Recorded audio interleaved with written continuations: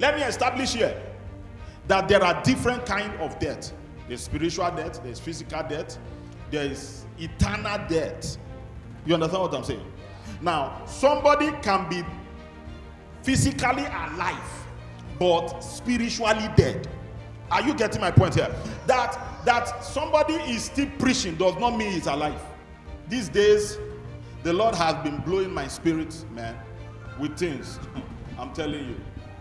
That somebody is doing humanitarian work all over the place does not mean that he's eternally alive.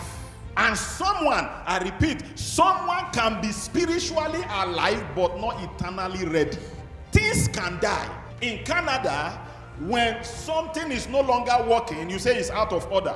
And so they put the out of order sign there. It means that thing has died. It's not functioning. It was not made to be in that condition. It was made to function. But now it's no longer, it's no longer functioning. So you say it is out of order.